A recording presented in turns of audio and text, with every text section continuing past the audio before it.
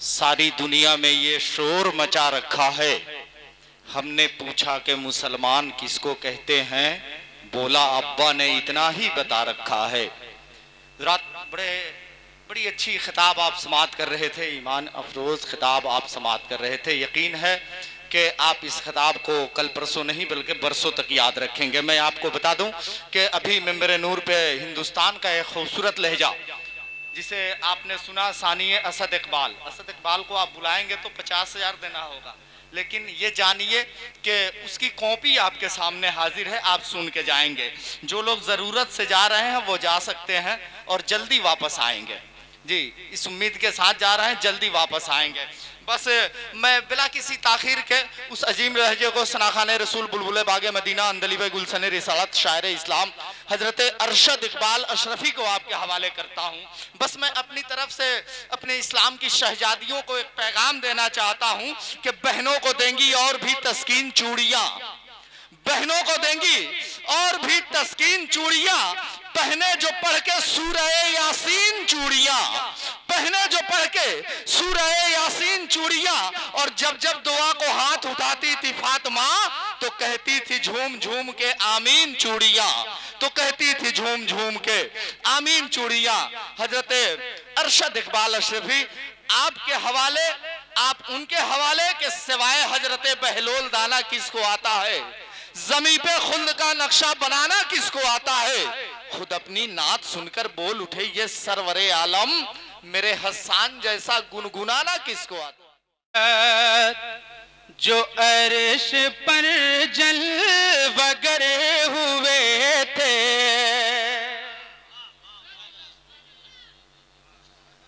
वो कर जबी की खैरात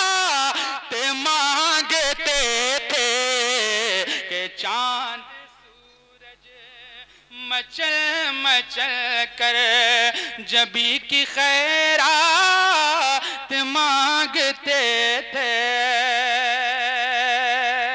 और एक खूबसूरत शेर मुलाहिजा फरमाए, जरा मोहब्बत के साथ कह दे सुबहान अल्लाह और बुलंद आवाज़ से कह दे सुबहान अल्लाह मुझे मालूम है कि जब कहा जाएगा तभी आप सुबहान अल्लाह कहेंगे।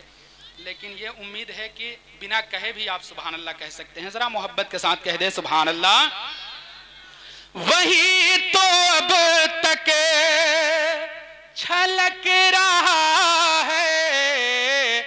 वही तो जो बने टपक रहा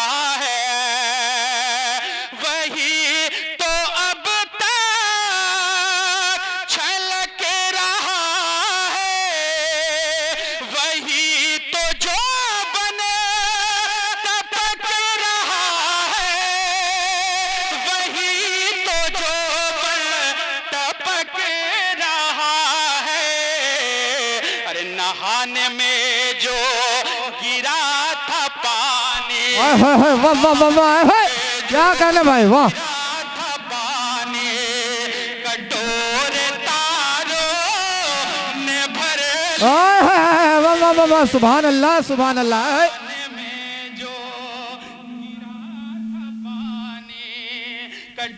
तारों ने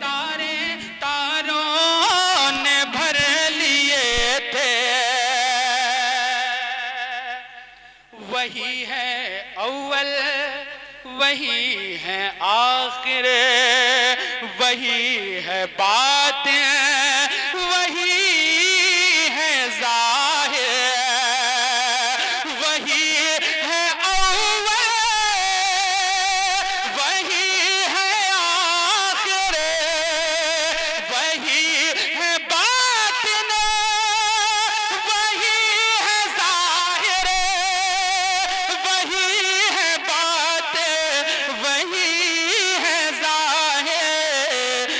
उसी के जलवे, उसी से मिलने, उसी के जलवे, उसी से मिलने, उसी से उसकी तरफ़ गए थे, उसी के जलवे